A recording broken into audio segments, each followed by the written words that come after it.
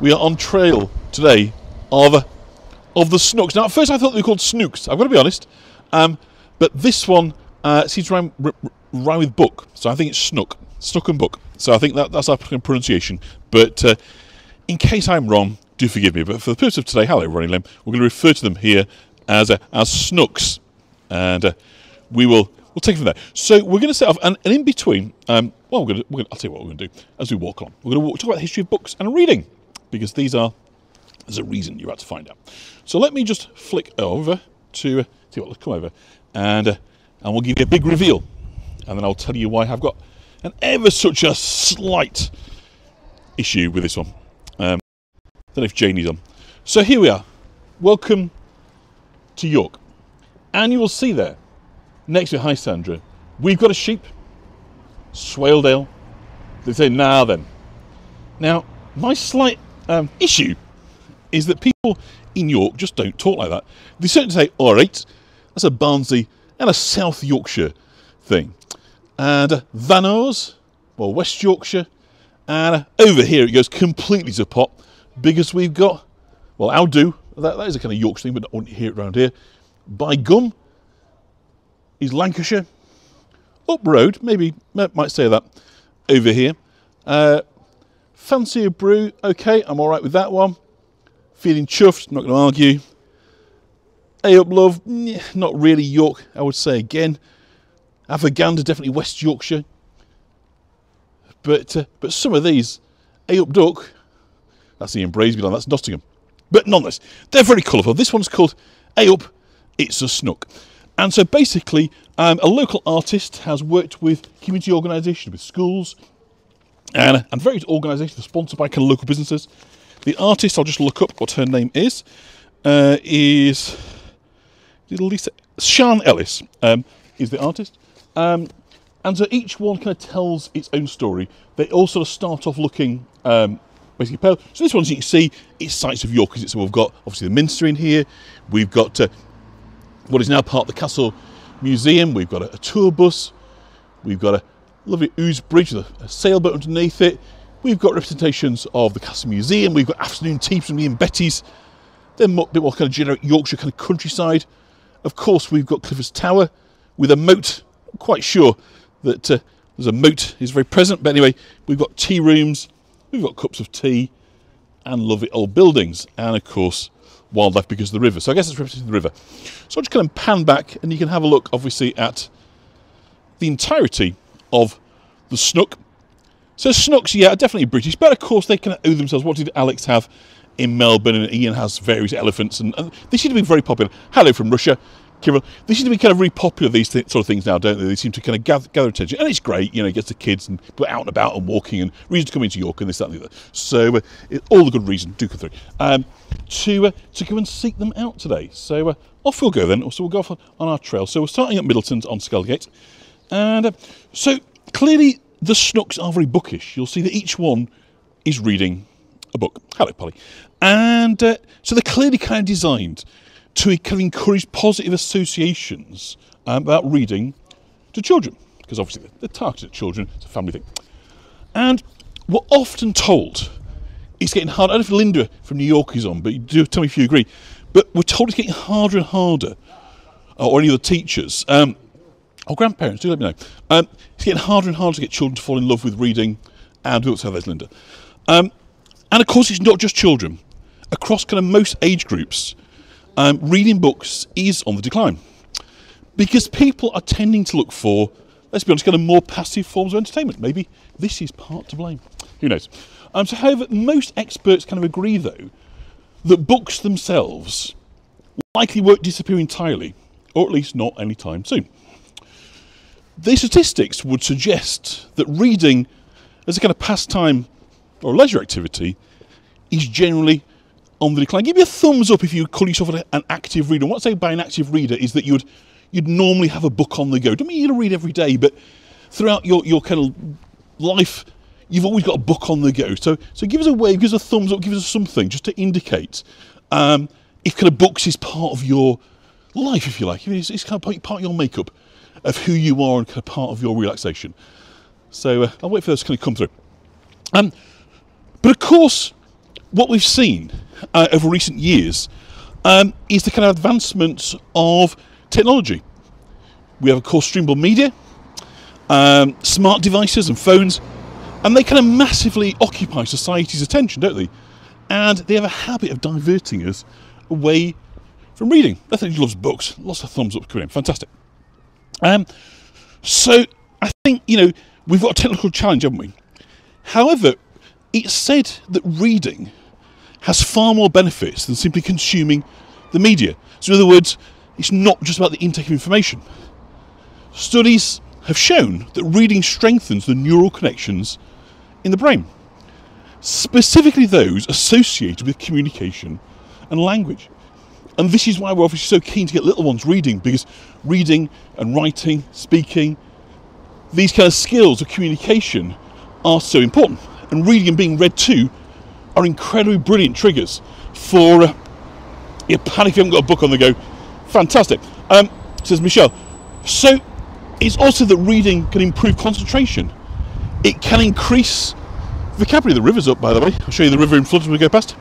Um, so increase our vocabulary and ward off cognitive decline. So incredibly important as we get into our later years to keep mentally stimulated. Reading, puzzles, conversation, being active socially, coming on virtual tours, being stimulated.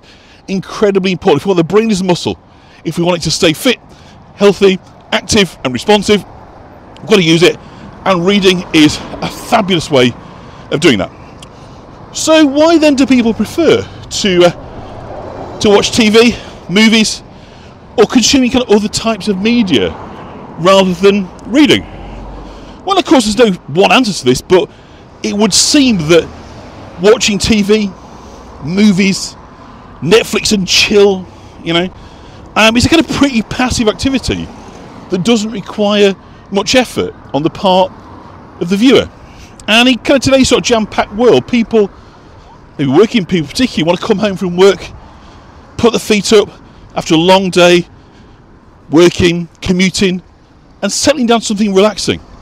Or maybe they do the reading while commuting, who knows. But anyway, um, now of course many people still enjoy reading, but increasingly they're using electronic devices. So is anybody on here, I think somebody already mentioned Kindle. How many of you are now reading through tablets, smartphones, Kindles, or other forms of uh, kind of electronic means rather than physical books themselves. Yeah, we'll have a little down the down the Tower Gardens we'll cross over. We're going to have a look for. There's another one apparently somewhere on the Eye of York near the castle. So we're on the search of our second uh, of our snooks. It's somewhere we think on the Eye of York, somewhere by the by the Castle Museum. But we'll find it. A lovely doggy. And so down we come. So uh, do let me know if you are. Uh, so Susan O is a fan of electronic books I must say, it, I, I, to a degree, I do a little bit because my eyesight isn't great, particularly in low light. So it's quite good, the kind of backlit screen, but I do prefer a physical book. Um, audio books, we'll talk about that a little bit actually, uh, Michelle. So we are perhaps reading, but consuming it in a different way. Does that count as still reading? Well, I guess so, of course it is. So, Catherine as a Kindle as well, probably very convenient for us out and about. Catherine gets out and about a lot stick it in your bag, you've got it wherever you go. Just remember to charge it, right? I mean, nothing worse for the running out of batteries before you get to the last page. Murder that one. Um, so, do you think with this trend of paper books going to disappear? Well, I kind of googled this. A bit flooded here. Yeah, it's of course. It's York. Of course, it's flooded. Creative right heels. That's interesting. Um, Fran reads a tablet through Apple Books, loves audiobooks, loves reading paper books. It's great. I mean, I think you can have all of it, can't you? I mean, that's the thing is, it's not one or another. And for some times, it might be better to be electronic, at other times, nicer to have some paper. Um, so most experts, I googled this about, you know, paper, are they going to disappear? And most experts agree that kind of hard copy books still provide valuable value to people and that many continue to appreciate. And it's very likely they won't disappear entirely, or at least not anytime soon. However, kind of like vinyl records, I guess, woodblock printing, hand processed film, and kind of folk weaving, printed pages may become sort of a specialist, luxury, almost artisan item. Maybe we're looking for kind of sustainability and kind of recyclable papers and vegetable inks and all these sort of things. um, but also um, people having books for the aesthetic kind of value. Use the coffee books, the art catalogues, the photography books. Uh, you know, we can get away with nudie books, can't you? On your coffee table because it's arty, right? So those kind of books, it may well be, um, you know, continue to do well, even if kind of novels, handheld kind of paperbacks, don't kind of do so well. So the books, perhaps that are meant more to be looked at than read, um, may well kind of survive long into the future. But the reality is, on the stats that we have, is that uh, people continue to buy books to add to their personal collection. They host reading clubs, check out books in public libraries, which is fantastic. And in addition to the used book, in addition as well, you've got the used book and resale market gaining popularity as more and more people are thinking about sustainability and environmental concerns. A lot of book swaps, and these, you know, where you're going to leave a book. A few places I've visited have like telephone boxes that uh, you know you've then got people coming in and uh, dropping a book in, taking one out, so kind of book swaps, that sort of thing. And uh, of course, as Susan saying about getting as a gift, you know, giving and receiving books remains, you know, still a major, major, uh, you know, source of our kind of gifts. So, you know, I think this is valued by many, many cultures across the globe. So it's not really just, you know, an issue in one country. All this transition to electronic media seems to be kind of on the march. But equally, it seems that right now we value books. So here we are then, our second of the Snooks today. And so we're here by the Castle Museum on the Eye of York. And uh, the Iron Snook, it would appear, apparently has been vandalised. Uh, the image here is of like the Iron Man, you know, the Ted Hughes. So perhaps that is uh, appropriate because the Iron Man gets very sad and ends up getting destroyed. Comes off the cliff, if I can remember rightly. So this is our Snook number two. Uh, he is called the Iron Snook, and we can only assume that he's reading some kind of sort of sci-fi novel. It's not exactly difficult to uh, to suss that out, I think. But as you can see, he's been stapled together. So obviously there's been some form of, uh, of vandalism that's going on. Go on, tell us what happened to him. People climbing on it, unfortunately. A bit too enthusiastic, sadly, but uh, so there we go. Yep. So you can hear that. Yeah, that's a good, good do not. Yeah, because the arcs are of fiberglass. The arcs are quite solid, but obviously at the same time anything can be destroyed, right? Particularly if you set out and try and destroy it. So uh, it's a shame, but there we go. So number two snook today. Sorry guys, I'll come out your way. You're, you're live. At the minute, I've got 52 people on. On live, yeah. Yeah. 52 people on, on YouTube. You'll see you Say hello from York. Very friendly in York. Where are you from? I'm from York. Fantastic. Okay, so let's. Uh, who'd harm a snook? Exactly, who'd harm a snook? It does seem rather harsh, doesn't it? But uh, I guess we may well come across a few then that are kind of wrapped up in. Uh, Have you got like seven phones? so, well, one's my notes. Right, anyway. So off we will go. And you can see the signs. It's a snook. It's a oh. science fiction snook. This looks like. Can I say hi? You can say hi. Hi. A very friendly group today. All just want to say hello before we walk on our way. I'm a cat. You're a cat. Meow. Fantastic. So let's leave Schnook number two behind. Look great there with the castle behind us. And uh, so there we are. Poorly damaged Schnook, but uh, he's uh, he's been patched up, so hopefully he'll live to fight another day. So Schnook number two. So do let me know what you think of Schnook number two. Kind of cute in a scary sort of way. He's very industrial, isn't he? He's very kind of space agey. Is uh, is this particular Snook? So perhaps the threat to the future of reading is kind of overstated. But could we imagine a world where nobody read? Well, we don't really kind of need to because it's part of our human story. If you go back far enough, there was a time when nobody read. So today, as we kind of seek out these bookish snooks, we're going to tell that story of how we came from a world where nobody read to where we are today. Whatever the future might look like, let us spend a bit of time thinking about the past, where we've come from. And there's no better reason than York to think about the past, because we have it all around us in spades. These kids do want to get in front of the camera. It's fantastic, Larry, yeah. I think the best thing is, is just say hi. There's no point trying to say no to people, which get disruptive. So give them their 15 seconds of fame, as you might say. These days, not even 15 minutes, is it?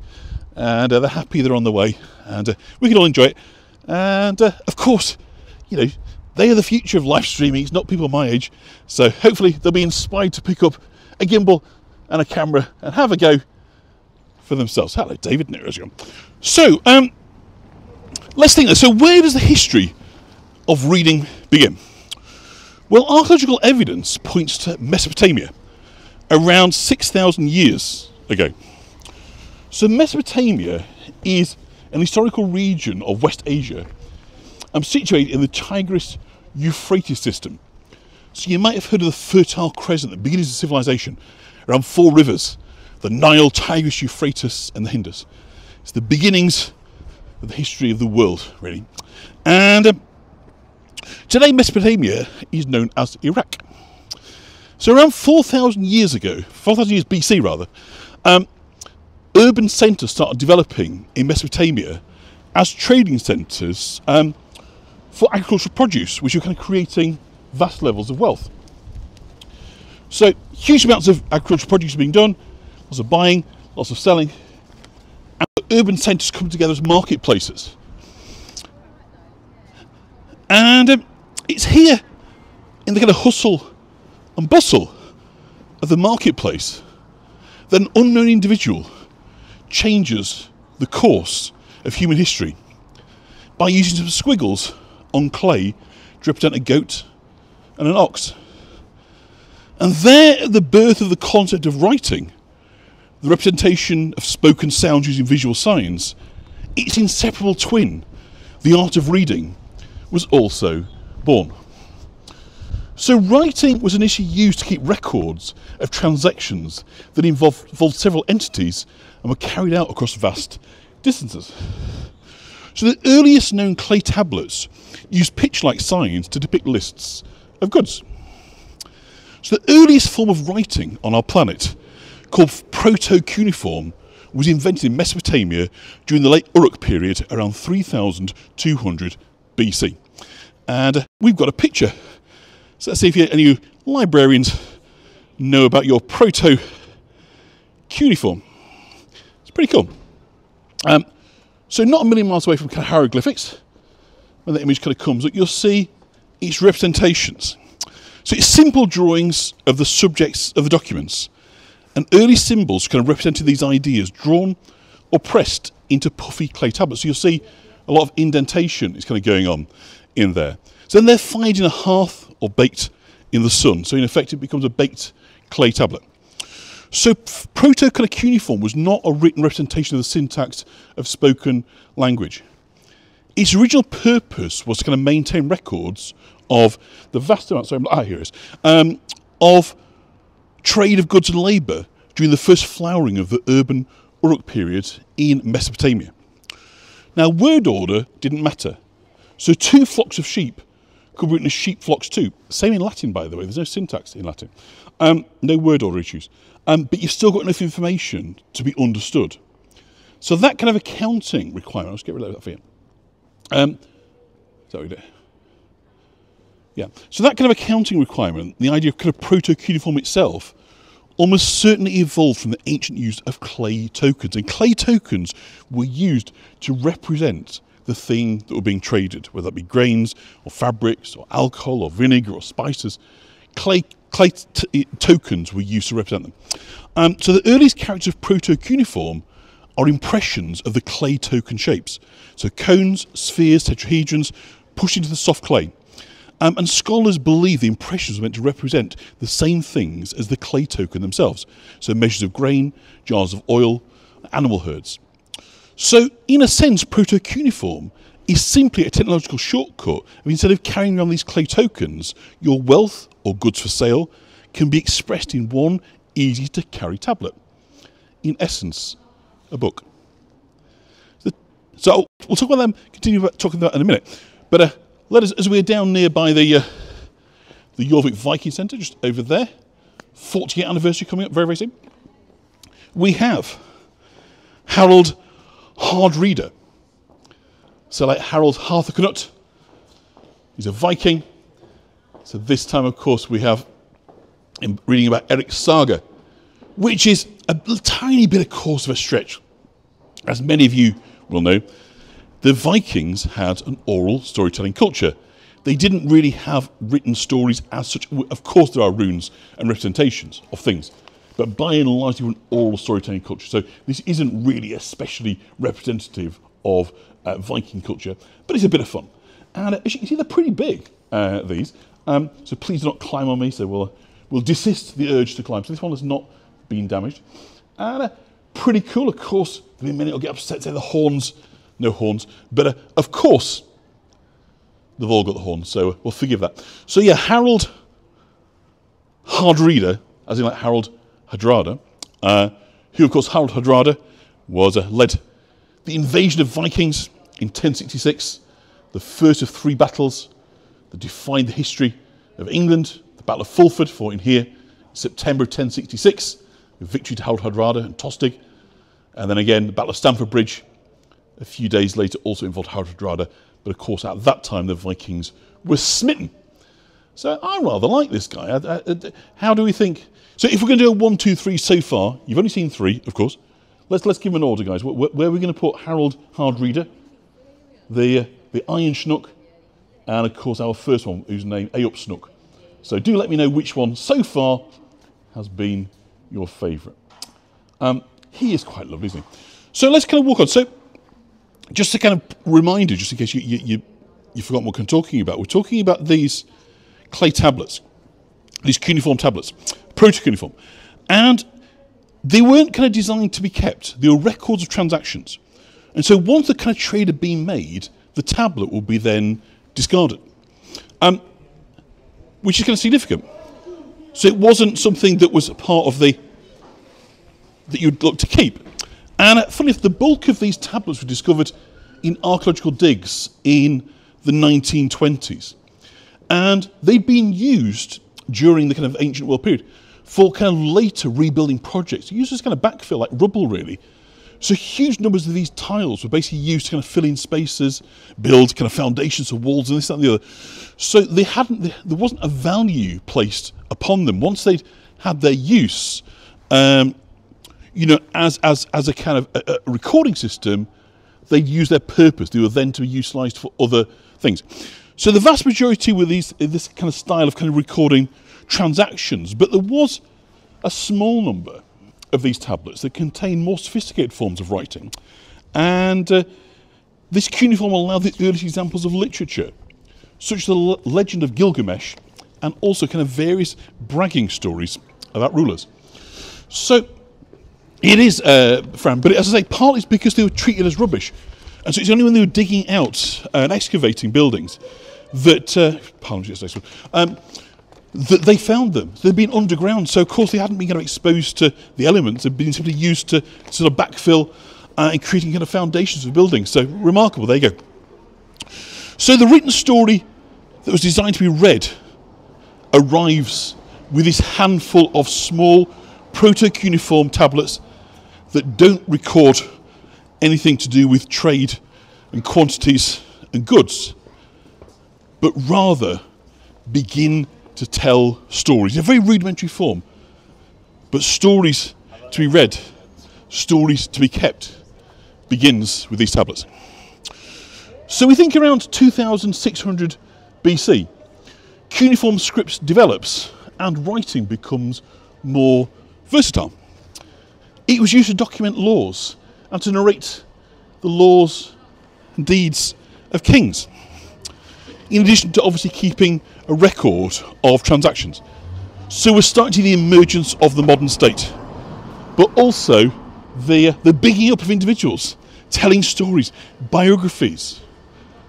So we're starting to see writing being used to the glory of individuals. So we're really kind of beginning to start to get a connectivity with what books and reading become biographies. Um, now, in each cuneiform script, each symbol was represented by a different sign.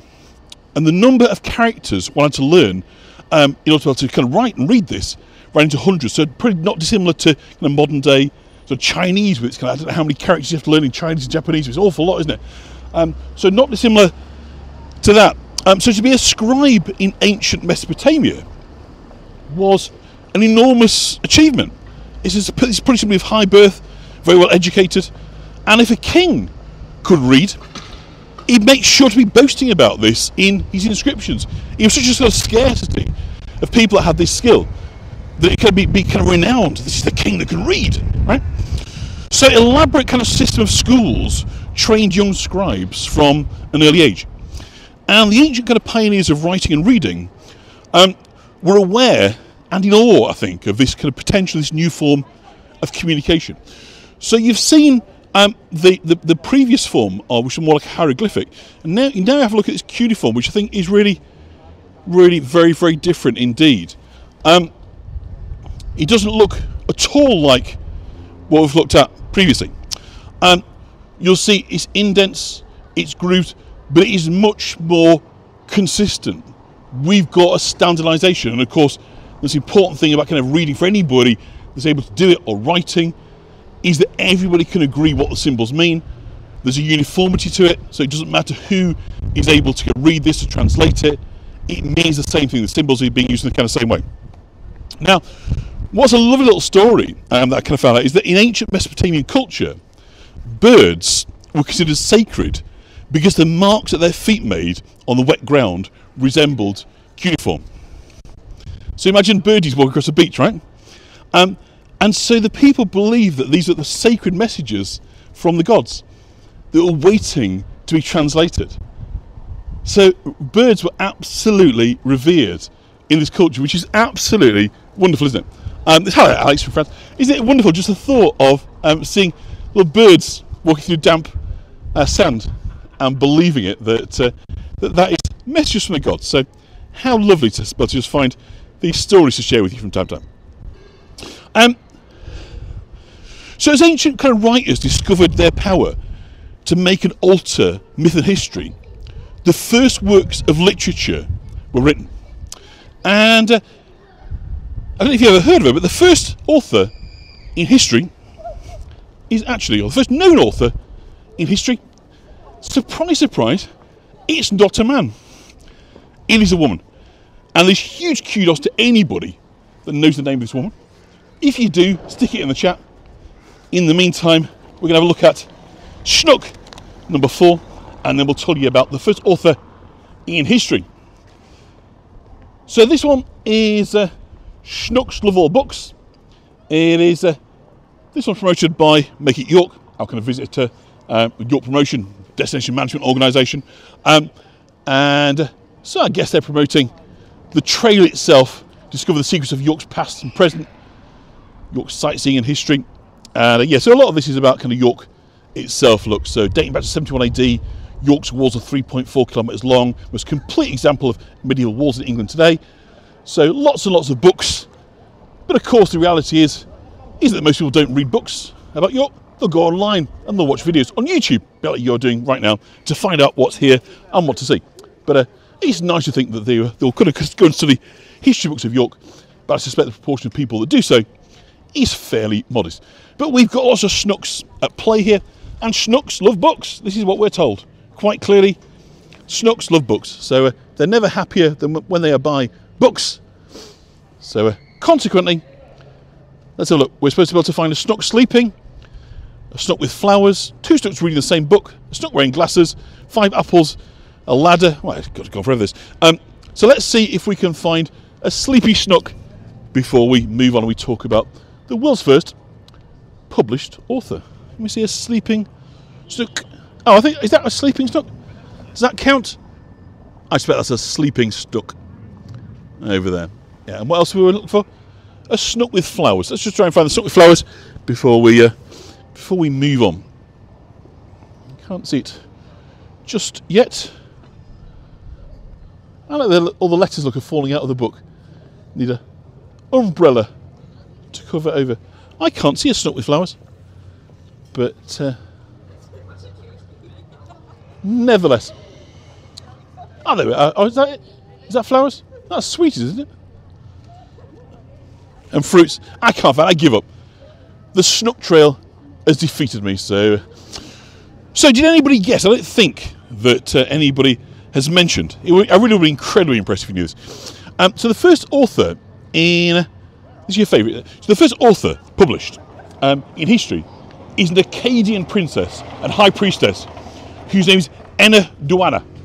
Um, and she composed temple hymns um, around 2000 BC. And she signed her name on the clay tablets on which she inscribed her works. So let us, uh, let us show you Enna Duana's tablets. Doing well with the images today, Anna. No messing up so far. Um, so Enna Duana. So her works are complex lyrical poems. And she's thought to be the first who explicitly set out to address the absent reader. She came up with the phrase, Dear Reader. Isn't that wonderful? 2,600 years BC, Enna Duana was inscribing into these clay tablets, Dear Reader. That is just blows me out. It's beautiful. Because um, it's specifically acknowledging, isn't it, that reading is a mode of communication between the writer and the receiver, the reader.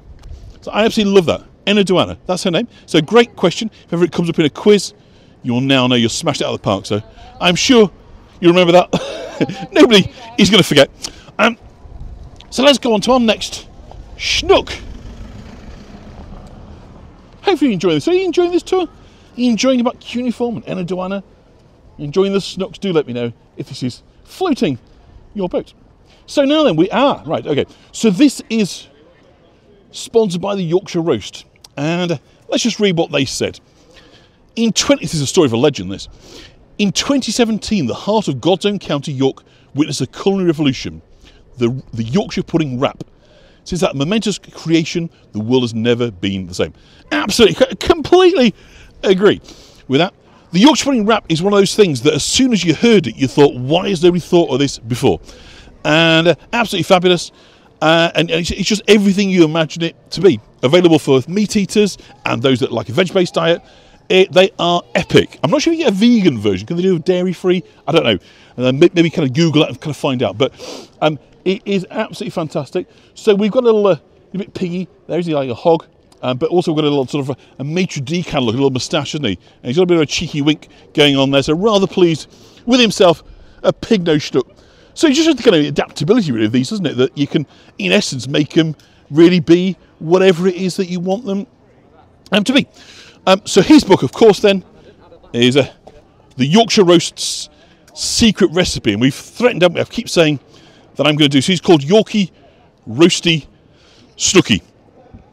York Roasty Snooky. That uh, we're going to tour and we're going to make some Yorkshire puddings and some northern food. So we'll kind of prompt me into doing that. You made them delicious. Catherine loves them. So made in Yorkshire, proudly British. Oh, white rose, that rather gold rose, isn't it? But maybe it's a gold star they've awarded to themselves for their uh, wonderful things. And of course, the penny comes right around the back and tied to a lovely bow. So I'm just going to have a look where we're going next on our map. Uh, and then I'm going to tell you a little bit more about reading because I love it. Uh, oh, right, where? So, so that was there, number two. So down Davygate. Oh, no, we're down. Where's number three? King Square, right? We're King Square. Okay. So, let's go to King Square. What are those stubby trees behind him? These stubby trees here are, I think, London Planes trees. They've been pollarded to within an inch of their life, in other words, going to cut back. Um, but I believe that they are London Planes, uh, these trees. Um, if that's what you're talking, a little sneaky peek of the minster there, in the middle.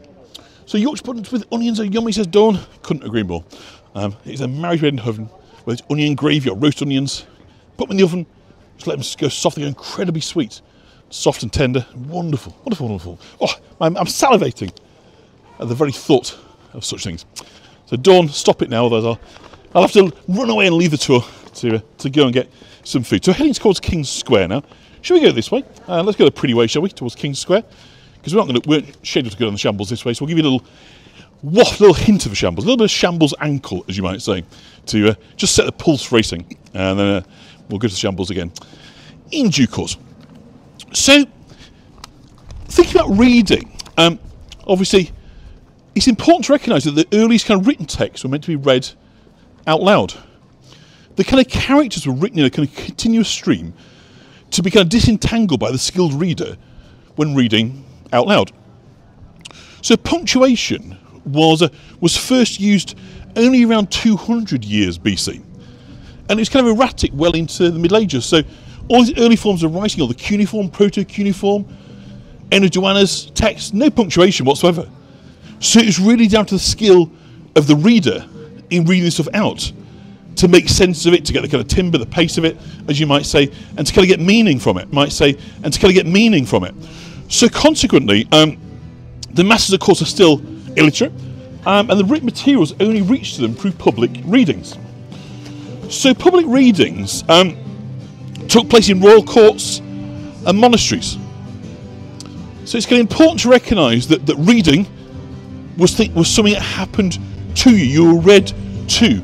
We haven't yet reached the time where people are reading for themselves. That's another milestone in the history of reading and books that simply we haven't got to yet.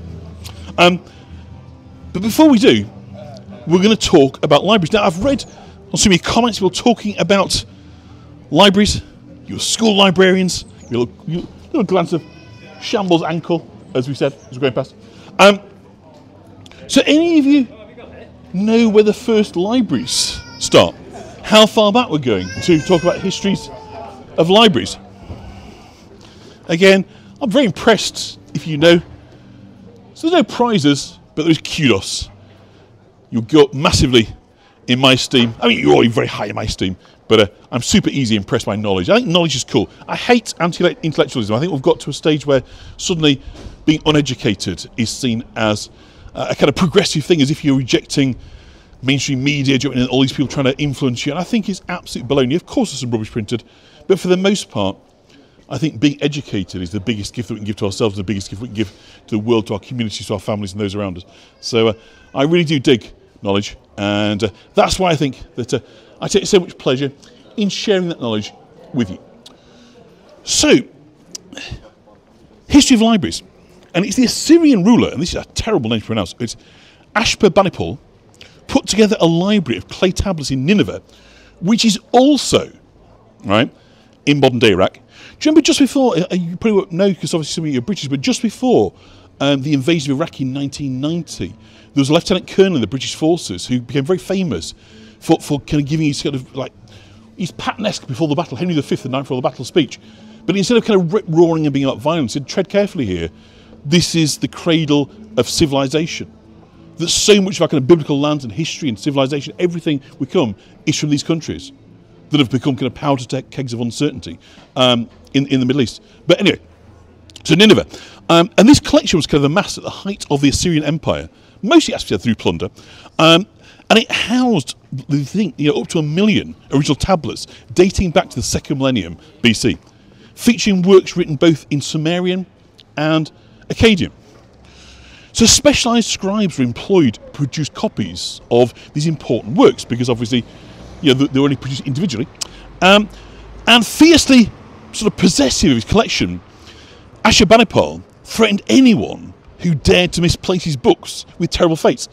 So if you've ever lent books out, I think you can probably sympathise with that viewpoint because I think I'm tempted at times to, to threaten people with terrible fates if they don't bring back the books. And, and more important still, if they bring them back in the condition that they lent them out in. Don't see any curled corners, split spines, or anything nasty like that.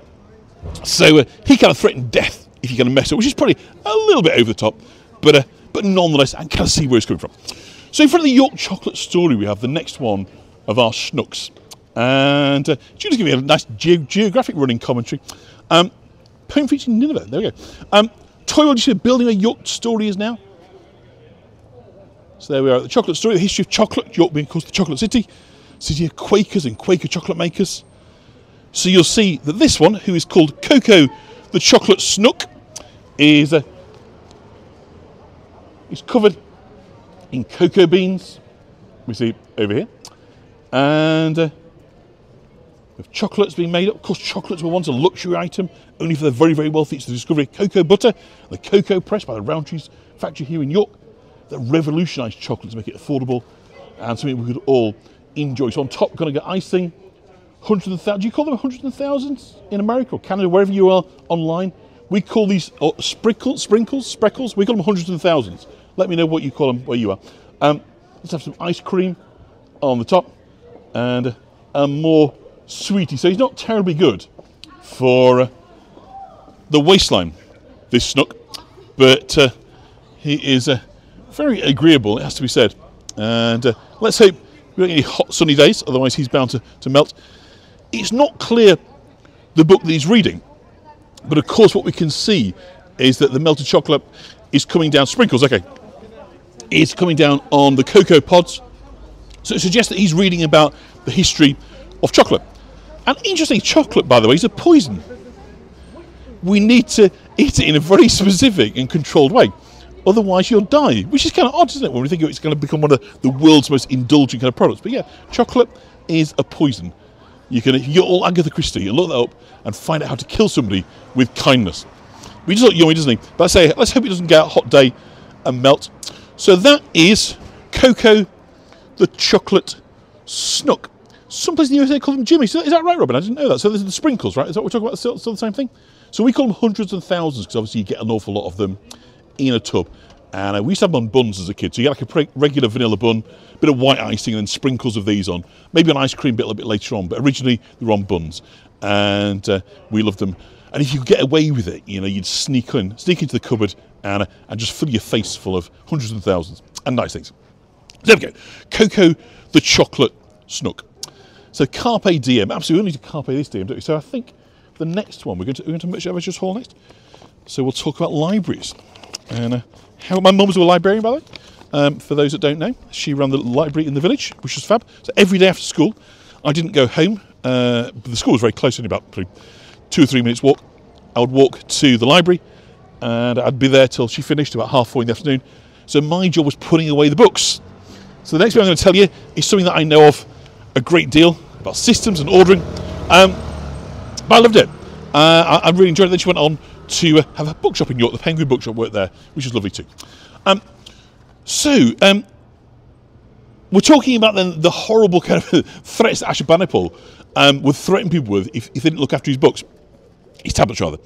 Now, centuries later, Alexander the Great, and this is in 331 BC, founded the city of Alexandria in Egypt. And within years, Alexandria had evolved into a kind of multicultural city with a complex um, bureaucracy. And um, Alexander's successor, a guy called Ptolemy, have you heard of Ptolemy? Very important kind of figure in, in ancient history. He founds the Library of Alexandria.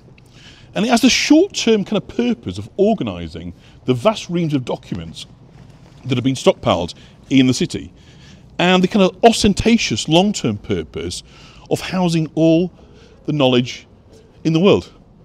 So I guess it probably wasn't until the internet came along that we had that idea again that it was possible. But Ptolemy had that idea, okay, uh, around kind of 300 BC, that all the knowledge of the world could be contained. And so, and the great library of Alexandria was known as one of the wonders of the world. And uh, so, in order to kind of achieve this goal, how he set out to get all the knowledge is really, really cool. Um, what he does is, um, Alexandria's in a kind of really good location to do this, by the way. Um, so, you know, if, if you're you're gonna be a pirate, be a good place, right? Pick your spot first. Thank you, Elizabeth. And uh, in order to kind of achieve this, then, so all ships are stopped at Alexandria, and they have to surrender all the books, all the tablets they had on board, to be copied or retained at the library. Isn't that cool? So basically, it becomes a clearinghouse for knowledge. Um, so the Great Library of Alexandria, one of the seven wonders of the world, destroyed, of course, was sort of the ultimate repository for knowledge of the ancient world. So the history of kind of cataloguing or organising written material is even older than the first formal libraries. Now let me know on here if we've got any fans of Dewey Decimal because I love it. And so when I used to put books away at the school in Bishopthorpe, in the, in the library at Bishopthorpe, I was fascinated that you could have a number for everything. No matter how niche something was, you could just add another number onto it. So 8.2.4.7.9, you know, could be the, the history of snail breeding in, in Lancashire. Um, That's not. I've made that up. But you know There's nothing too niche. You can just add another number. You subdivide. It's a brilliant system. It really appeals to my kind of logical brain, kind of partly kind of OCD-ish idea of kind of organising the universe, the building blocks of knowledge can be done. And that's, of course, why, in, in many respects, why the internet is so frustrating because it's not catalogued. Um, it's, it's a really weird. Uh, this is St Andrews, rather. Bedern Hall is sort of tucked away down on the other side of where we are here. Um, so, sorry, it's, it's over here, Bedern Hall, right, on my left. Um, so the Dewey Decimal, Catherine knows what we're talking about. She knows what she knows. I wrote that Dewey Decimal. Um, so, in the ancient Sumerian language, record keepers were called the ordainers of the world. Isn't that wonderful? The ordainers of the world. And the first ever catalogue of books is the catalogue of the Egyptian House of Books, which dates back to 200 BC. So, Bedern Hall, yes, just, just in front of us where we are now, just around the corner. So, the Library of Alexandria was a laboratory for a lot of the kind of early experiments in library science, mainly through the works of Callimachus of Cyrene, who catalogued the Library of Alexandria in the second century BC. Um, Robin loves Dewey Decimal as well. I think if you've got a certain type of brain, it really appeals to you. Um, for others, maybe enjoy chaos more, uh, you know, kind of discovery and anarchy and creativity and what might happen when you find things by accident. So I get completely why. Um, but I think that certainly appeals to me. So what Callimachus did is he arranged titles into lists, or he called them pinakoi, according to categories including drama, lyrical poetry, legislation, history, medicine, and philosophy, and miscellanies. And of course, one of the famous things to fall out of this, of course, is metaphysics, isn't it? In Plato. There was not an invention of something called metaphysics, but was held in the category of other, located after physics, meta after physics. So metaphysics means simply it was located in the category after physics, but didn't have a name for it. So it just shows how that actually influenced science, our thinking, our identities, Western philosophy. Um, so he was also, uh, Callimachus, also the first librarian to use alphabetical ordering to arrange books within those uh, with those genres. So he was kind of the world's great organisers in history. Um, and though libraries kind of remained highly exclusive spaces for centuries after these developments, um, kind of accessible only to this kind of privileged and skilled uh, scholars, the concept of a kind of comprehensive library catalogue would prove invaluable to generations of readers roaming the aisles of these storehouses of information in search of knowledge. So there we go. In case you in case you wondered, Callimachus is the man, Ptolemy is the enabler, and the great library of Alexandria, one of the great wonders of the world, really kind of taught us how to think about knowledge. It's like when I did my history degree, you have a thing called historiography, which is like the study of history. You know, history as event, history a story, um, and of course you can have history written down as, as history books. Um, so thinking about knowledge in these ways, categorizing, creating systems, creating structure and order and natural flows. So this is the greatest hits. It's Radio Snooky, and I believe he is associated with Greatest Hits Radio. Um, so very modern, and I suspect akin to what we were kind of talking about earlier. I suspect this is an online uh, radio station. I don't I'm particularly aware of. Um, so I guess it, it's sort of bringing it up to date, isn't it? Is it? But again, this idea of transmitting knowledge um, through kind of digital means rather than kind of paper. Um, arrange books by colour. Absolutely. Yeah, you can do that. I mean, a lot of people collect penguin books because they're very distinctive orange spine. If you have any penguin collectors on here. Um, Julie wants to do Queen Victoria. Um, lots of libraries. Alexander, one of the great tragedies, absolutely, Fran. Um, it certainly is. Um, so I don't know how we feel about this. It's very sort of technical.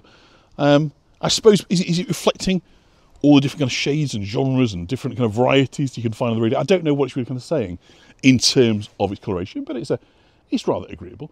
In fact, in, in many respects, because it, it's trying less hard in terms of the messages to it. If I was going to have one in my garden, this probably would have been the one so far, because I kind of like the fact it's just kind of, it's modernist and quite sort of simple and bold, but it isn't trying to tell me anything. Minster turned to great. Ah, okay. Thank you, Julie. Well, Minster, I think, went busting it or folded in. So maybe you're right. You could well be right there. So, Julie, thank you if you are um, on. So, by the way, where we are, um, Natalie's leaving us. How cruel. Um, we'll see you soon, Natalie. Um, so it's just spinning round. We're at the Merchant Adventures Hall, but uh, time presses on. So let us uh, let us walk on. So let me just have a sip of water and then we will uh, we'll push on. Gosh, we're at 10 to 7 already. Time is flying and we've still got more schnooks to see. But uh, we'll get in as many as we can before uh, the end of the tour. So I think the next one is, uh, is it round by the Minster? I'm going to have to get my little map out. And uh, in the library, hidden somewhere, like a moving astronaut. I agree with you, Laura. It's, it's probably a lot of knowledge maybe he isn't lost. You're just in different kind of forms. But of course, as a collection, uh, it's a great tragedy to lose. Right, okay, so we need to Deangate. Right, so okay, so let's let's walk round uh, in front of the Minster and we'll head down there and we'll see what we can do. Fantastic. Fan Davidosi. So off we go again. So we've talked then, haven't we, about reading as in people are read to. You've public readings, performance reading, um, people issuing instructions, people probably running auctions and financial transactions. So reading as a passive thing being read to. Um, so, kind of given how early texts were meant to be heard rather than seen, the act of reading silently remained a curiosity. Now, I guess that most of you can do this. I'm not going to ask you if you move your mouth when you read, but it's a skill that most of us would expect to have by the time I guess we left uh, what we call primary school. So we may call, uh, what would you call primary school? Anyway, you know, the, your early years of your education, it will be the norm to expect. How many stocks are there, Laurie? I think there's about 20, but some are kind of way out, you know, in like villages and stuff, so we're not going to all of them. Um, so it's a skill we'd expect a child to possess, right? But in 330 BC, when Alexander the Great read silently from a letter from his mother in front of his troops, the kind of already awestruck men were kind of further stunned by their generals' otherworldly kind of capabilities. Nobody had seen somebody read silently. Just think about that for a minute of just how strange that is. And that we have on record that Alexander the Great was one of the first people in history that conquered the world for his 25 cried because there's no more worlds to conquer. Within his skill set was reading silently. Isn't that awesome? Doesn't that just give you a, a you know, just a, sometimes you get bits of history that just help bring people to life in a way that cold facts or other kind of achievements, their battles and the, the successes on the battlefield. I'm not saying it's rendered irrelevant, but I just find it fascinating that in this era where nobody could read to themselves silently, Alexander the Great could. I love that. Um, now, much later, in the 4th century AD, St. Augustine, so we're looking now at the Minster, St. Augustine, a very, very important figure in the early Christian church. So he marvels at how his mentor, St. Ambrose, managed to grasp the meaning of a text whilst, as, as uh, is, described, his voice was silent and his tongue was still. In other words, St. Ambrose was another of these people that had bec- taken this skill and internalized it. He could read in the way that we could. But this was so uncommon that St. Augustine, that had travelled across Europe, that had visited the great monasteries of Europe and spoken to the leading thinkers of his time, still hadn't experienced this.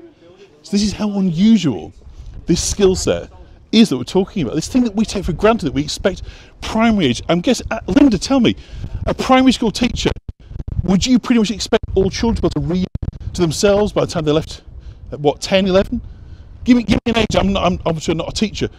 So let me know what sort of age now would expect a child to have developed that skill if on the kind of normal sort of trajectory of knowledge. And bear in mind that in history, these people were held up as being absolutely unbelievably skilled in order to do this. And these were people that conquered worlds and had converted half of Europe to Christianity. Remarkable. Um, so let me just have a sip of water, show you the beautiful St William's College. Before we, we walk on. And uh, of course, the great east window of York Minster looking resplendent as we said against that sky. That's a shot for the ages, huh? Um, so the first kind of regulations requiring scholars to work in silence in monastic libraries date from um, the 9th century. The ancient and the medieval. Um, so there we are. So Linda's saying that by the age of six or seven, you expect children to have mastered this skill that was so unusual in the ancient world. It Just shows that what we take for granted, how we've developed, how we've engaged. Um, so, silence in, in, in libraries is quite a new thing. The ancient medieval libraries until then, and probably for a considerable time after that, would have been very different to the kind of modern concept of a quiet place to study. So, for those that would like to imagine visiting the great library, Alexandria or Celsus, you need to kind of factor in the din. It would have been very, very loud, with scholars talking, discussing, reading, arguing, all this kind of going on around them. So, libraries as being vibrant, noisy, busy places. Again, it just tips, doesn't it, when you're thinking about these places, what they would be. Probably more akin to our marketplace. People gathering, sharing knowledge, this transfer of information. And we know, don't we, for instance, how Arabic, you know, numerals, you know, replaced Roman numerals. We're looking at consonants we go past, you know, just because it was better. The Arabic numeric system just works better. But the Romans didn't think so. The Romans just had to suck it up because people decided it was better. They used it as a method for counting, it worked better. They could read it.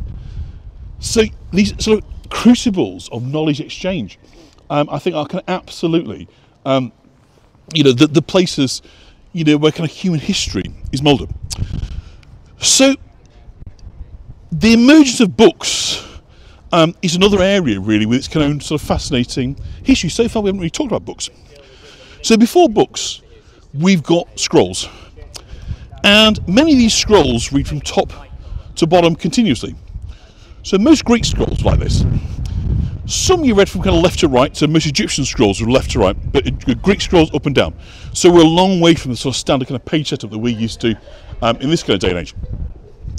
But by folding between the columns and stitching them together on one edge, the first codices were created, which are the predecessor to the modern book.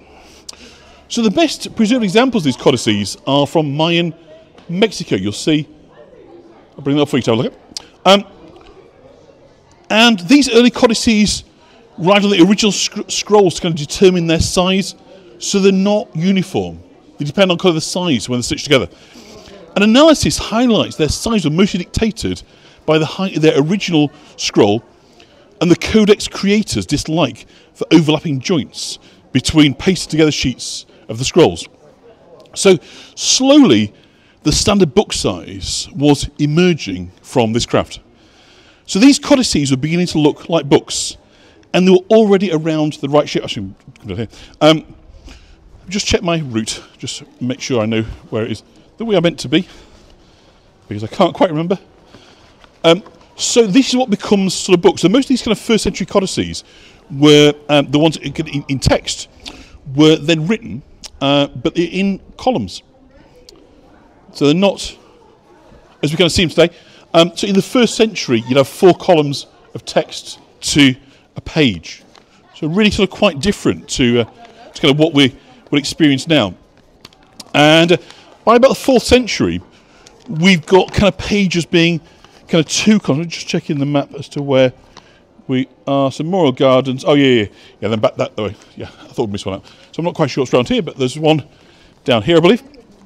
Um, so sometimes you got one column. So we get the beginnings of the one column page in these codices, these stitched together scrolls in the first century. So again, we've kind of got, you know, again, we're, we're feeling our way now, aren't we, towards, I think it feels like a modern book that we all kind of get behind and go, yeah, recognise me, that is something akin to the modern world, our kind of modern experience. Um, and those kind of practical considerations as well for the size of each page in these kind of codices. Books were rarely wider than they were tall because it had put too much strain on the spine. And academics also suggest that possible consideration was the size of the vats. Now, the vats, what we mean by this, of course, is um, where, where the paper's being made, as you might say, um, is the width of the vat. uh, It was, it was basically the arm's length of the guy that was producing it. So this could well have been the impact, the arm span of the paper producers, the vat man, um, could have defined the original sizes of paper. But let's just pause that thought because another schnook is upon us, and this is the great Oglesby. I couldn't tell you much about him, um, other than let's have a look. So again, we've got very modern, like Paul Nash now style uh, abstract going on. Not quite sure what it is that uh, is telling us about this, but it's very angular, modernist, almost sort of Bauhaus, Bauhaus esque. Susan, daughter, three and a half. There we go. We've got fishing going on. Seems to be a motif. I, when I, for instance, I thought it was a, a, a weapon, but it's not. It's a fishing rod. So I don't know quite exactly what the story is here, uh, or indeed who the sponsor is. But uh, so the great Ogles. Let's have a look. So, oh, sponsored by YDL. Who are they? Distribution Logistics. So don't know. But uh, okay, we'll like him. Do we like him? I think he's got a certain certain amount. He's just snooks in a pen, stop people climbing on them. Unfortunately, due to vandalism, trying to protect the snooks as much as possible, and so barriers put around them. Apologies for any inconvenience. So, uh, yeah, I don't like carrot, but uh, anyway, there we are. So that that is uh, the Great Oglesby. So uh, let me just check where we are heading next. So yeah, we'll go down. We'll go down Stonegate, which actually, funny enough, was a centre of printing and publishing. So, another consideration um, in what was to be on book size was the reader themselves. Lovely view of the minster. Um, fly fisher posting. Um, so, obviously, we read by flicking our eyes backwards and forwards across a text. It's called saccading, is a posh word for that. And our eyes can only handle a certain length of line. Too long, and they get kind of lost on the way back to the next line. So, you think about reading something, it's a very long line, it's very, very hard coming back to keep your eyes in line. Um, too short, and we waste a lot of time and distract us by flicking between the lines too quickly. So there's kind of a sweet spot that you're looking to hit in terms of reading length. And research suggests that a limit of kind of between 45 and 75 characters per line um, is that kind of sweet spot, with some arguing that 66 is uh, the perfect number for this. Well, that's true. I don't know, but that's that's what they say. Um, and so this is the same reason that wider publications like newspapers and magazines set text in columns. Um, they'll have their own kind of standards of what represents to them a perfect line length, but they stick to it. Um, and it's to make it easy for us to scan backwards and forwards and to, to keep reading without losing our place um, on the text. But there's another piece of crucial human anatomy, which is, a sense, shaped our evolution, if we believe uh, Mr. Darwin, um, more than anything else, which comes into play when we're thinking about the design of what to become books. And of course, this is our hands. We use our hands when we read. So the proportions of a book look pretty similar to that of our hands, which makes sense because they should fit together. So while the first books being bound were sort of usually sort of put on pedestals to be read, books and were then meant to be held, which meant they should be optimized to that shape. Which may also explain how books have kind of gotten shorter since their first incarnations. Um, and we still think about actually hands in book printing. If you've got a book, pick it up and tell me I'm a liar. But you might have ever noticed the margin at the bottom of the page is bigger than the margin at the top because it's there to give space to your thumbs. So we're still thinking about the space. We're still thinking about um, you know how we hold and our kind of physical interaction with books. Um, so I think you know humans are kind of really shaped books, but there's other things as well, um, such as human anatomy. Um, as we switch from papyrus paper in Egypt to parchment, this meant kind of using goats, cows, and kind of sheepskins, which, when trimmed with their curves, are kind of rectangular. So they're also fold easily into four folio quires, which neatly arrange with flesh against flesh and hair sides facing each other. So you create a hairy bound cover for your book. So book size at this time were usually referred to by the number of times the original paper was folded. Because these original piece of paper varied, this didn't really tell you that much about the actual size of the volume. Today, of course, we've got standardised printer paper sheets. A full sheet is A0. In other words, it's one piece of paper with zero folds. A1 is half its size with one fold. A2 is half its size again with two folds, etc. That's it goes all the way to A10. But actually, theoretically, it would go on forever. And what's interesting is the ratio will be maintained. It will be a rectangle all the way. So infinitesimally small, but very, very deep. It's theoretically possible if indeed you had some kind of hydraulic press to keep folding your paper. Um, but uh, there you go. So this one, as we're talking about books, here we are. They were printing the Holy Bible here in 1682. So here we are on Stonegate. And Stonegate was a very, very important part of the, the printing and publishing industry. And I'm very surprised to say the plaque has disappeared momentarily. But at this address here, Laurence Sterne produced the very first comic novel, a great stream of consciousness piece by the name of The Life and Opinions of Tristram Shandy. And uh, this is believed to be the first comic novel ever published, and that was here in York in the 1760s. So uh, this was a street of printers and publishers. So most books published before 1500 were quartos or folios, which uh, means they were kind of very large books. They were a luxury item, and they kind of weren't meant to be portable. So Aldo Manuzio was an Italian from Venice, and he's created as being the inventor of the modern book. I wonder if that is a, a name you've ever heard of, but I guarantee he's, a, he's somebody that you should be interested in indeed. Fascinating. Um, and he began to print handbooks or portable books in 1501, pioneering and popularising the octavo, which we still use today. And the octavo, uh, those of you who like reading hardback books, that is octavo size. And the octavo is created by taking a sheet of A2 paper and folding it three times to create eight pages, 16 printed sides. This guy also invented italics. He really kind of transformed, because he took up less space, he completely transformed our reading experience.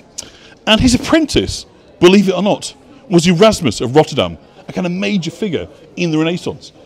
So Aldo, Aldo's kind of court and, his kind of print works were at the centre of transforming our understanding, but also our contact with books. So the handbooks, the book that was meant to be carried and taken around with you, was uh, absolutely, you know, now part of this in the date 1500. So by that time, books look pretty similar to what we have now. So if I've got an image here, I'll just show you. Uh, yeah, so this is one of his books. So I would say, I don't know what you think, but this looks like it could have been published very recently. So this is published in the very, very early years of the 16th century. And I think you'll agree that we've now arrived at what you'd have to say is the modern book. So with the Octavo, modernity, something we can relate to, something we can see um, as very much part of our contemporary experience, has arrived by about 1500, thanks to this very, very innovative guy from, from Venice. So, our next snook on the tour is uh, wherever there is light, the flowers will find it. This is done by the artist Sean Ellis, who is the person responsible. She's painted this one herself. So most of them done by different kind of artists. And uh, we have a lady who has kind of a tree for hair, I guess. Little birds popping out, sunflowers, a lot of warmth, and a kind of humanity in this one. I said it's sunny, lovely. Uh, isn't it beautiful? Really, really happy. Ah, very good, Julie. Signatures and autographs, two different things. Um, isn't that stunning? Be lovely. Just makes you think about, it, doesn't it? You're coming back and sunflowers and just, oh, just lovely. Got little birds. A bit like a Twitter bird, that isn't it? Or the X bird now. Is, is, is the X bird gone? Has Elon Musk killed the X bird? Probably. Don't approve of him. Think he's a dick. Sorry, excuse my language. But uh, I'm not into Elon Musk. I think he's uh, just another one. He's inherited a lot of wealth and like, likes to sort of credit himself with, of course, doing wonderful things with his inherited wealth. But uh, there we go. So yeah, we're just in front of Betty's, just uh, as Julie mentioned there, in case of location. And we've sort of got chocolatey colours, sort of Cadbury-esque, isn't it? The colours that we've got uh, we've got going on there. So, uh, how nice is that one? So let me just have a look where we are. Now, for this Blake Street, so we'll go up to the Art Gallery, Exhibition Square next. So not many more to see on this tour, but uh, we're running a little bit over. But uh, I guess some people may have gone to join other tours, which of course we understand. When you run over, that's perfectly fine. But uh, for those that are still here, fantastic. We've got, I think, probably another th- three or four to see. So let us let us continue onwards on our tour, and uh, off we'll go. So we were talking about Octavo books, weren't we? And so let's uh, let's kind of continue. So as I say, we- we've kind of with Octavo books, we've kind of reached now the modern world in terms of in terms of you know books that we um, imagine. So it's books that are not just kind of writing in the kind of general proportions, but also handheld and in the area in the kind of size we've sort of come to expect. Probably a little bit larger. We wouldn't really call necessarily the size of a handbook now something that was the, an octavo, but you get the idea. It's no longer something that is in a library on a pedestal. It's now designed to be read and taken from place to place. So it's the kind of the print revolution really now that kind of defines how everything just jumps forward in terms of kind of evolution. So the earliest kind of print technology um, originated in China, Japan, and Korea. So the imperial state of China produced a large um, of printed material by rubbing paper against ink woodblock to uh, kind of sustain its extensive bureaucratic system. So they were using it for record keeping.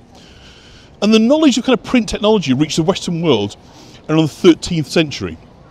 And uh, woodblock printing attained widespread popularity by the 15th century. Woodblock, by the way, is when you kind of carve out of wood. So you take a flat piece of wood, it's got a bit of depth to it, and you carve out in reverse, don't you?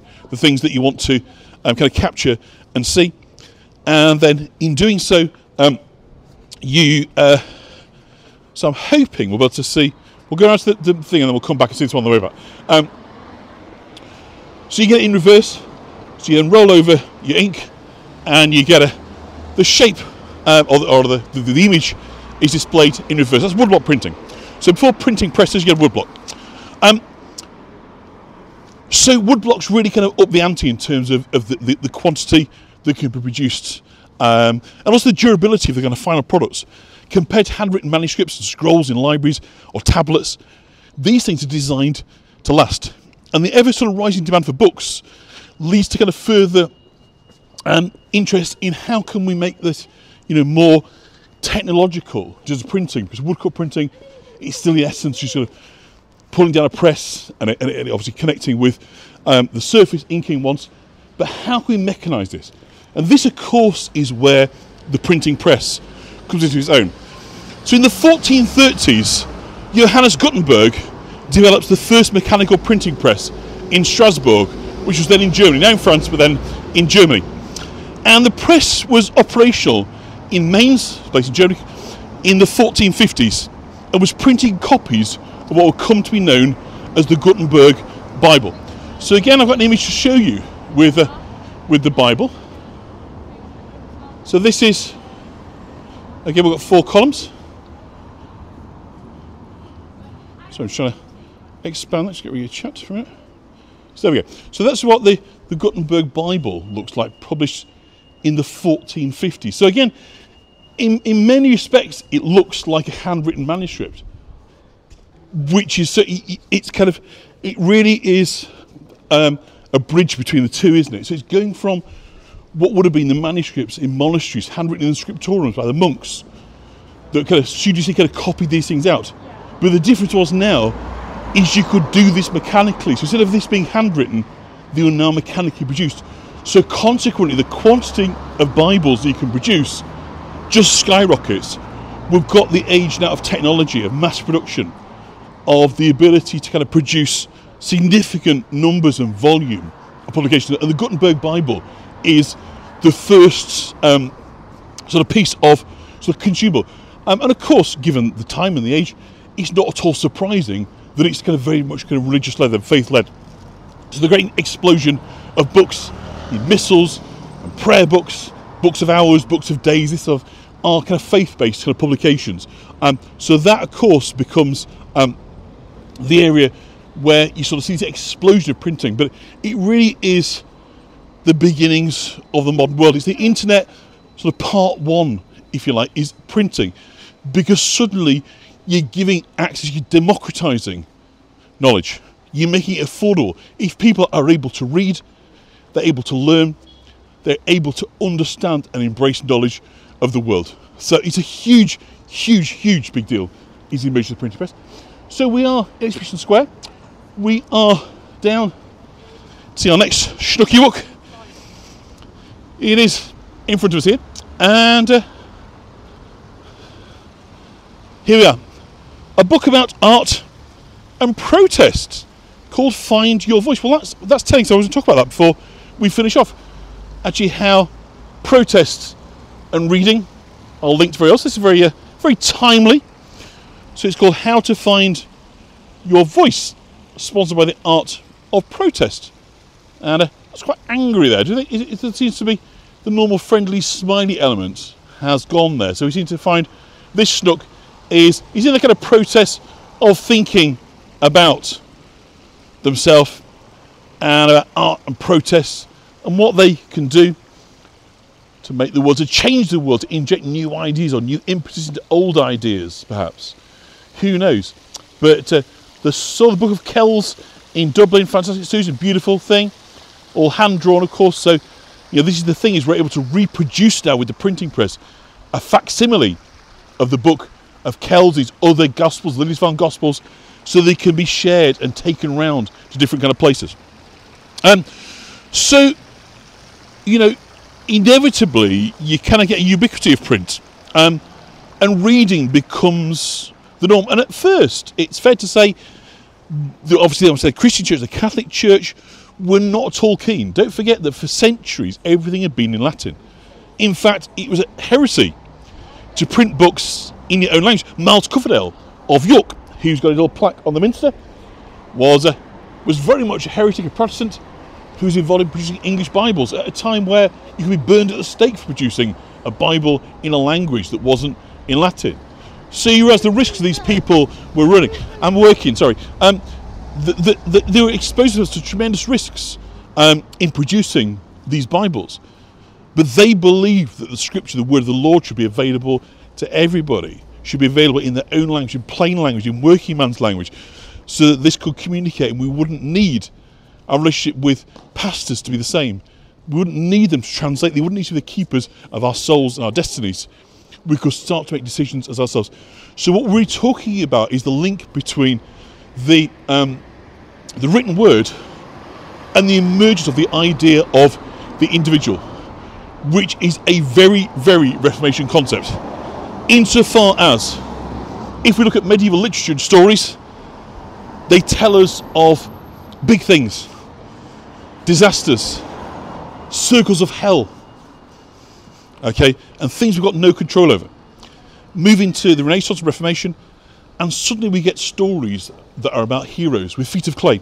Shakespeare is the great teller of individual tales, isn't he? He tells us stories of people like Macbeth, of Julius Caesar, people who make decisions and the decisions impact them on this lifetime, not in the next. So it's kind of complete change of narrative.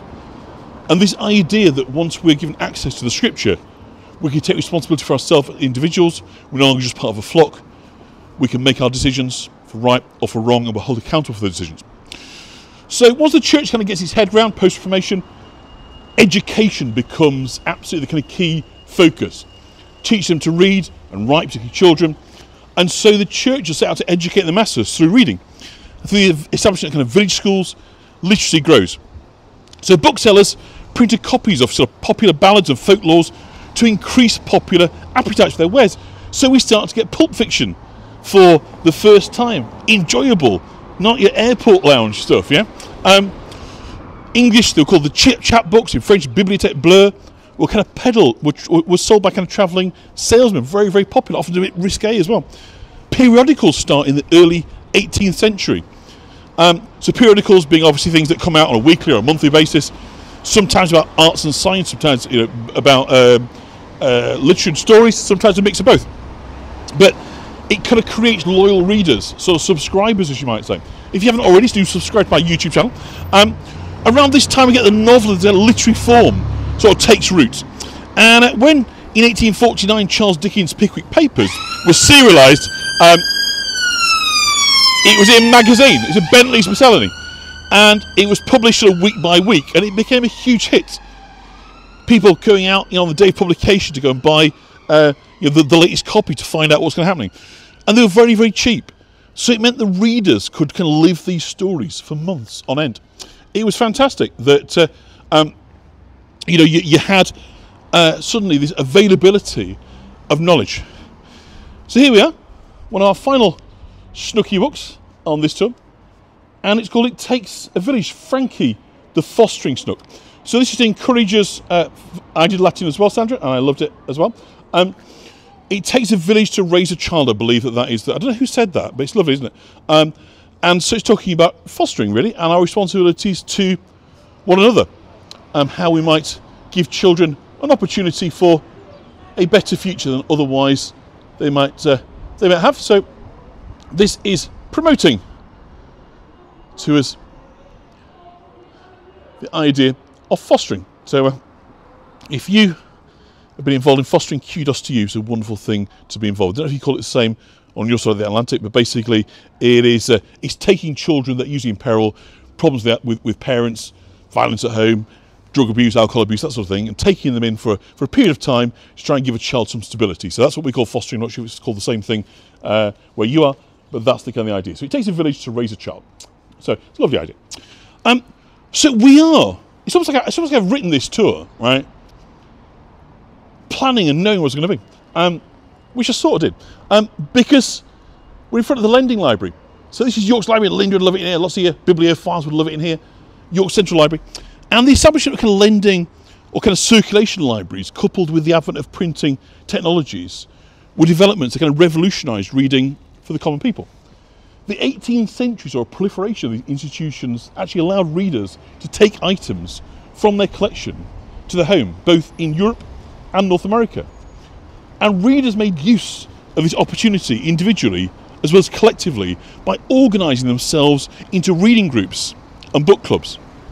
Isn't that a lovely idea? You know, that, that libraries and lending give rise to book clubs and make it sociable. So we say individual. Um, and it's, it's fair to say that the public reading didn't go. In fact, Charles Dickens really went in for it hugely. Um, so reading, kind of doing public readings, was very much seen as a pleasant dinner time entertainment for the wealthy uh, in, in their homes in the 18th and 19th centuries. And popular authors embraced this tradition with varying degrees of fervour. Charles Dickens was tremendously kind of uh, dramatic, the way that he would do his kind of readings. You know, the death of Nancy from Oliver Twist was in particular, you know, something to kind of behold. Um, kind of eyes and stalks, you know, as he portrays Bill, Bill, Bill, Bill Sikes, isn't it? Uh, in kind of murderous fervour. Um, but uh, nonetheless, you know, public readings were very much uh, the verb. So let me just show you this one. So this is around the Ouse in 60 minutes with Ebor Passport. So this is sponsored by City Cruises. So obviously they are giving you an idea of the sort of things you expect to find uh, if you get on a boat on the river which is to go down to Millennium Bridge, which we've visited the cycle bridge uh, down the south of the river. Rowntree's Park we've also visited on tour. The cat sculptures we've seen on these tours. Bishop Palace I've shown you on these tours. Sea Cruises Boatyard, that's just over there. Fulford Hall, we've not been to Fulford Hall, but uh, perhaps we should. And uh, over here, Fishman of Dreams, I've shown you that over on uh, Iron Bridge at Acaster Malbis. Little Tower Bridge we're about to walk over. Guildhall I'll show you on the way. Clifford Tower we started at, and uh, the King's Arms we've seen, and the the Museum Gardens we've seen. So um, we've seen pretty much all of those. Now people watch Corrie and EastEnders. Indeed they, do, indeed they do, Susan, but apparently not as much as they did. I was listening to the radio the other day, and apparently audiences are a fraction of what they once were for these soap operas. So there's question marks about their long-term survival. Um, so going back to public readings, there's another reason why sometimes people do public readings. And uh, you may have heard of a chap called Jean-Jacques Rousseau, a very, very important thinker in France. And now in pre-revolutionary France, he had been banned. His ideas were simply too much. Partly because he wrote an awful lot about these fantasies of being spanked by his nanny, um, which I think was probably slightly kind of uh, probably too much um, in the midst of kind of philosophical texts. Um, but there you go. Um, but because he'd been banned, a bit like the Marquis de Sade, you couldn't read these books. They couldn't be published. So actually, kind of reading at houses of friends was the only way that Rousseau could uh, could get his ideas out there. So even as education sort of becomes more widespread, being able to read was a major avenue for entertainment and acquiring knowledge, especially for women. So, well into the 19th century, women were encouraged to acquire only very minimal education, very minimal, and their scholarly ambitions were really kind of frowned upon. Being read to by family and friends was kind of acceptable, so hence, you know, the, the, the, the readings after dinner and so forth, um, and provided women with some semblance of an outlet for their curiosity and hunger for stories. So once primary education becomes accessible and acceptable, younger members of the family then read to the elders in a kind of sweet reverse of the kind of classic grandma's tales. It's really kind of nice, isn't it? The, idea of you know, a bit like you know, you might find uh, with, with immigrant families, the children do, do do translation for the older ones whose English isn't sort of quite so good. Um, so you got kind of the same thing going on there, which is lovely. And uh, so with increased kind of literacy, better punctuation, and books that were made accessible to the general public by the inclusion of pictures or simplification of language, silent reading becomes the norm. So, uh, you know, as Linda answered there, between five and seven, lots she talked about, you know, grandchildren, neighbours, and, and, and kids, you know, three, four, and five could master skill. Well, it becomes the norm now. Um, and it allows readers, I think, to form a sort of more of a personal connection with the written text um, without sort of someone else's voice and interpretation acting as intermediaries. So silent reading was made a kind of private activity, making room for more options in a choice of the reading nook. Now, Chaucer, the 14th century author, recommends reading in bed in the 14th century. So I think that's a that's a pretty good idea. And uh, Omar Khayyam, the the Persian poet, he advocated outdoor reading. So did Mary Shelley, author of Frankenstein, while Henry Miller and Marcel Proust preferred the absolute solitude of the bathroom. Let's not ask or delve too deeply what they were doing in the bathroom while they were reading, but uh, they reckoned it was the perfect spot. Um, so, protest, kind of reading as rebellion. We've seen so far in a kind of short exploration of the history of reading the power of the written word, which in turn is kind of transferred onto its readers um, and has kind of been recognised since ancient times. And it's therefore no great surprise that authority figures throughout history have tried to prevent people um, that, they oppress um, from accessing reading material um, that might challenge the prevailing ideas. So, for these marginalised groups, reading against all odds and in severely adverse circumstances has been a courageous act of rebellion and resistance. So, enslaved peoples, um, both in the dominions of the British Empire and the Americas, um, were denied access to reading for centuries. But they still managed to learn to read. Look at all the lovely daffodils over here. We're doing. I'll just cross over and you can have a look at the daffodils. I think we're going to the Memorial Gardens, and then. Thanks. Um, just check my map. I'll just show you the daffodils because it's such a highlight of York this time of year to see the daffodils. Might come out next week and just do, do daffodils actually. That'd be quite nice, wouldn't it? Um, we'll do the walls and some daffodils maybe next week. Let me just have a look where we are. Headed to dun, dun, dun, dun, dun, dun, dun, 10, 12, yeah, Principal York, yeah, yeah, two more to go. Um, isn't that lovely? So a little bit of a heads up there. So people they still manage to read, often risking their lives in the process, um, using kind of unobserved, often incongruous methods of learning. Um, the literature many of these people taught themselves, um, they used it to kind of teach themselves to read and to write, and went on to become a kind of potent weapon in the battle against slavery and oppression. And women's reading and intellectual ambition was discouraged, often violently, in societies all over the world, despite um, sort of some of the earliest poets and authors having been women. Yet, kind of largely kind of cut off from the outer world and forced into the routines of domesticity, generations of women taught themselves to read and write. They wrote copious volumes about their own experience, and many of which stood the test of time and are now recognised as classics. Women in China and Japan invented their own di- dialects used specifically for communication between women. In India, Rashundari Devi was the author of the first autobiography in Bengali, taught herself to write by scribbling letters over the soot left over in a traditional wood burning oven after a day's arduous cooking. All women book clubs that discuss, literature from a female point of view have been mentioned as early as the 15th century in a French book about medieval women's beliefs called the Distaff Gospels. Now, cookbooks were um, an area where women were actually accepted as authors writing instructions for other women to read. But even so, these are originally written by men. One of the most important surviving medieval texts, if you've heard of it, is called The Good Man of Paris. It dates from about 1392, 1393, around then. And it's a fascinating book. It's a present to a bride for a new husband. But the thing is, is that he is an elderly, wealthy Parisian, and she's 15. Um, and so this is basically a guidebook for her. And this was very common actually for young girls in noble families, not the top families, but noble families, to marry somebody very old, a widower generally. And the idea was that that widower would teach the girl household skills, how to deal with servants, run households, home economics, cookery, all these kind of skills. Um, and then as a result of that, what would happen is that they'd then acquire all these skills. The guy would then obviously die. She'd be left a certain amount of money, but not all the money. So the family were quite happy with this. There'd be no children produced, um, and so she'd then have a dowry to go and make a second uh, marriage, which is the kind of love marriage. So um, it's a kind of cookbook, is the Good Man of Paris, um, the home economics journal, but also kind of missive on being a good wife. Teach her how to run a noble household and teach her all the skills. Um, but there's another really interesting area of why cookbooks emerged to be hugely possible. Um, because obviously knowing the correct way to prepare for banquets and so forth is, uh, is jolly important. But most people wouldn't have had access to cookbooks. Before cookbooks lined our shelves, kind of cooks learned by observation, by, by watching others to kind of how to manage a hearth, an oven, how to prepare food, and how to feed a family. Which brings us to another one I hope. I hope there's been a few of these, what you might call nuggets of fascinating history. Um, in relation to American history, you can say hello very quickly. What's it for? Uh, someone I'm on YouTube live right now. Oh. Thank you. Um, and this is about American history in the South.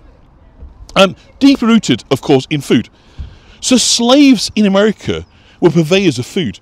So much so that after the Civil War ended and Reconstruction was underway, white women found that they had no idea how to prepare the food their men loved. Because that skill bank and that knowledge base had moved away. And whilst not all cooks in America prior to the Civil War were slaves, it's crucial to recognise that the need for culinary education came not just from people wanting to learn how to cook, but from people needing to learn how to cook. And that necessity was a kind of result of subjugation of entire race of people. When we talk of American cuisine, specifically Southern cuisine, we're talking about a way of eating that was developed and prepared by African slaves. So we're on the last but one of our structures. A long tour, this wasn't it? I didn't realise it was going to be take us this long. And uh, this is Webbo. So say hello to Webbo, which I guess in relation to uh, the internet. And uh, he's green. He's got a Y connective. So I guess he's to do with the, the hotel, the principal chain behind us. He's a very studious with his glasses. Let's have a high vis jacket on. So I'm not quite sure, if I'm being brutally honest, uh, what it is that we're kind of being told here. But uh, nonetheless, it's always nice to uh, to check out one more song. So I think we've got one more to go. It's in the station. I'm told. I've no idea where. So uh, so let's kind of go over. We've got 10% battery left, so to make sure we get there quickly. So totalitarian regimes, of course, have always recommended, recognised the importance of keeping people subservient to kind of ideas. If you can exploit people, you know, don't expose them to knowledge. Um, they've been placing blanket bans on books, of course, against your different versions of reality since the age of time.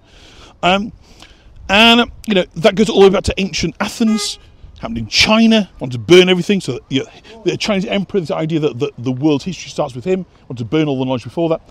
In the Roman Catholic Church, of course, they began to maintain an index of forbidden books in the 1550s. In Nazi Germany, of course, there was a propaganda machine that made a spectacle of kind of book burning, um, with each book being kind of burnt, receiving its own individual epigram. So colonial rulers tried to ban and prevent the circulation of printed material. They would question the legitimacy of their ruling colonies all over the world. So the power of the written world has also been misused and is still being misused to spread false information and hatred.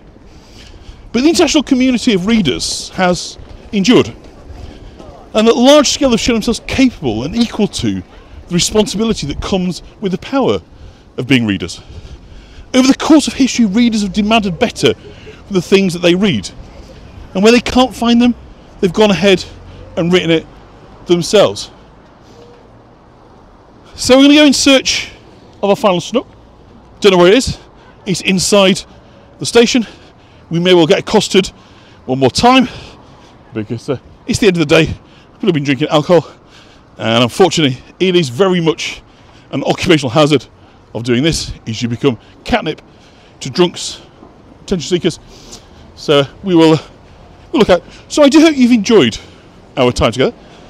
Our little uh, rumination on reading this thing that we take so much for granted, but that actually is a revolutionary act.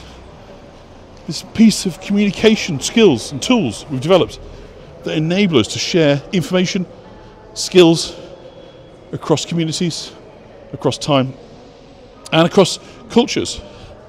But sometimes just that simple stuff. So here, our final snook of the day has a travel guide, information you arrive into station, maybe a foreign land, a foreign city. The first thing you want to know is how to get where I need to go. So consequently, Railtail Snook is about, I suppose, the kind of pedestrian end, isn't it, of reading. Our ability to assimilate the information that can help us, to enable us to get the information that we need. So I've very much enjoyed it. Do let me know which has been your favourite of the Snooks. I've definitely enjoyed taking you out to see them today. It's been an absolute joy. Um, I know I'm very, very low on battery power, so I'm going to leave the station now. I'll, uh, I'll flick myself around, so I may well disappear in puff or puff. If I do so, you'll understand that it is because I've run a long tour. Our battery is now about spent. But I've enjoyed it. I enjoyed researching that, and um, you know, hopefully, it's given sort of sort of pause for thought really about this thing that we kind of take for granted, um, of how important it is. So really, I guess whether we are readers on electronic screens, whether we want pictures, whether we want pages, whether we need to in braille or other assistive technology, whether we like audiobooks, it doesn't really so much matter how we consume.